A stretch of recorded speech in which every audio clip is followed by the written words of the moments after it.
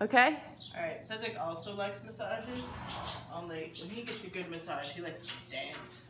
Yeah, he dances. dance, dance, dance. dance. Yeah. Oh yeah, that feels good, huh, Fezzik? Yeah, really get that muscle right there. Oh yeah, he says get into it. Oh, he's telling you where to go. Oh.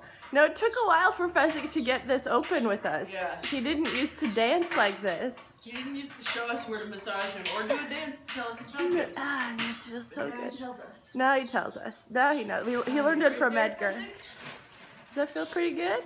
Yeah, what do you think with your nice little goosey lips?